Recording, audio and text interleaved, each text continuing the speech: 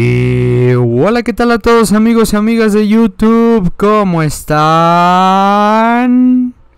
En el video de hoy, mis amigos, vamos a hablar de un tema bastante preocupante que está pasando actualmente alrededor de Ark Survival Ascended. Y es que en las últimas semanas ha estado perdiendo bastante comunidad. Los números son rojos, tristemente, mis amigos, para un juego que nos promete tanto. La verdad no quiero cargar toda la culpa para nuestro lado como clientes, porque también Wilcar la ha cagado en muchas ocasiones. No se entregan las actualizaciones tarde, no tienen un contacto con la comunidad como lo tenían anteriormente, que creo que eso le da un valor bastante importante al juego, amigos.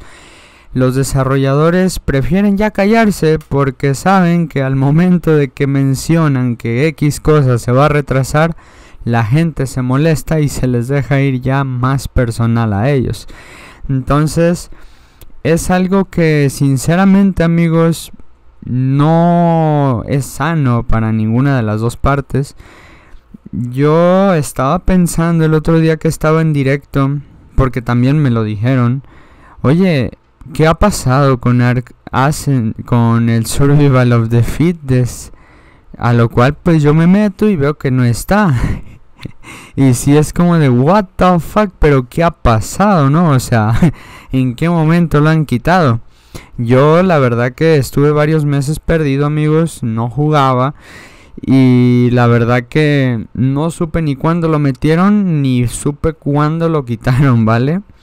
Yo en aquel directo les prometí que iba a investigar para comentarles el por qué lo habían quitado.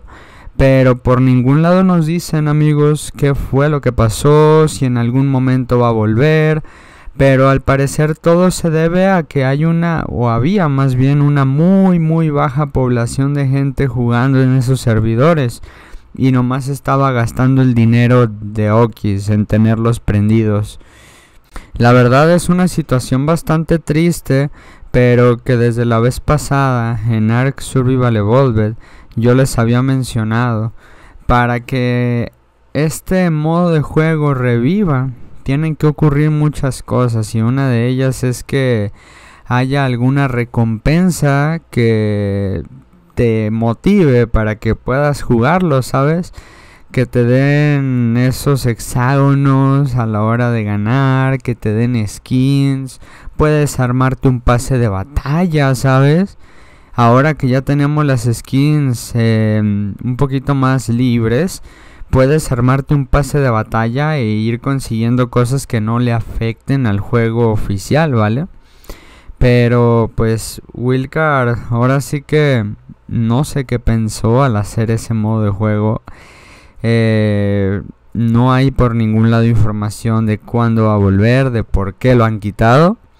Hay gente preguntando que qué pasó, pero pues sinceramente no hay respuesta, amigos. Todos suponemos que fue removido porque pues no había suficiente cantidad de jugadores para mantener los servers, ¿va? Eh, otra cosa es el juego ya en sí. Yo siento que no lo hemos valorado como se debe porque se han ido mods bastante buenos, pero también han llegado unos nuevos que están fenomenales amigos y verlos con el Unreal Engine 5 es algo que a lo mejor no nos imaginábamos nunca poder disfrutar y la verdad que está bastante padre mis amigos. Actualmente en este momento tenemos una cantidad de 12.995 personas jugando en Steam Ark Ascendant en todo el mundo. La verdad es una cantidad muy muy pobre mis amigos. Si nos ponemos a ver los números de Evolved incluso son hasta más grandes. ¿A qué se deberá eso? ¿A los mods? ¿A que allá hay más posibilidad de tener mapas? ¿A la optimización? La verdad que es una pregunta que yo me he estado haciendo mis amigos porque sinceramente no lo comprendo. Yo sí siento que ahora en dos semanas que salga de Center va a pasar lo mismo que, que pasó con Scorched, o sea, va a tener su pico máximo un par de días y va a comenzar a bajar. De hecho, si nos damos cuenta, eh, lo que fue la salida de Scorcheder tuvo el pico máximo de 44.964 personas. Va, empezó a bajar pero cañón, eh. O sea, empezó a bajar horrible, men. Nada, la verdad que sí, este... Mm, hay que empezar a, a plantearnos un plan B, amigos, porque mm, se está viendo la situación dura y como se los dije yo en algún momento, el tema este no es solamente de qué va a pasar cuando salga de Center, sino que vienen muchos mapas que pues no nos llaman la atención. Wilcard está trabajando para hacer los mapas y pues ni modo, tenemos que esperar amigos.